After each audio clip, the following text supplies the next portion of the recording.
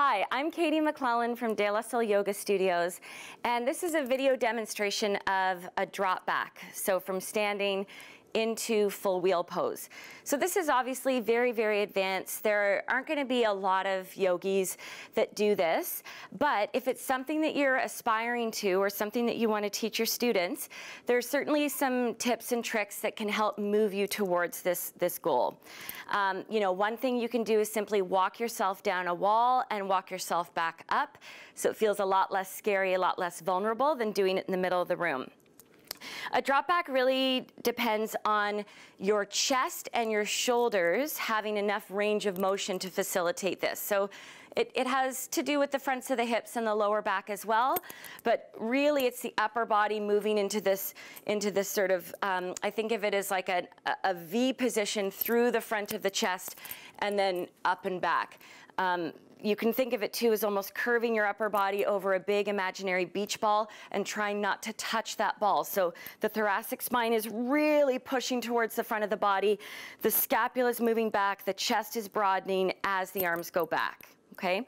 Now, a neat way to just open the shoulders for this is to put your hands into reverse prayer my mic is in the way, but if you could get your hands higher up the spine, this would be really helpful.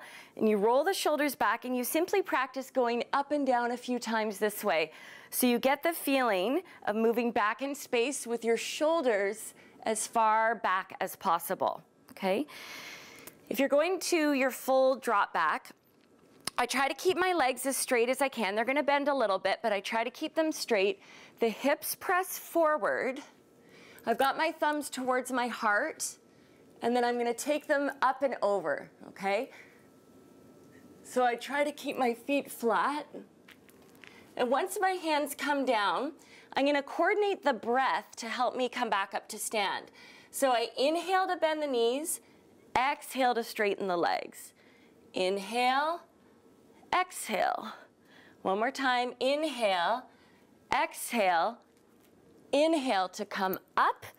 And my focus is on the hands coming together and I'm pulling that energy back to the center of my chest. And then I exhale to go down.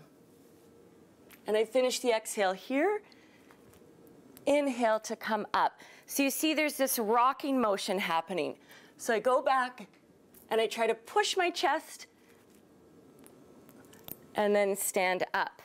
So um, again, you can just practice that idea by being in full wheel pose, rocking back and forth, inhale to bend the knees, exhale to straighten the legs, and then simply coming down onto your back instead of standing up.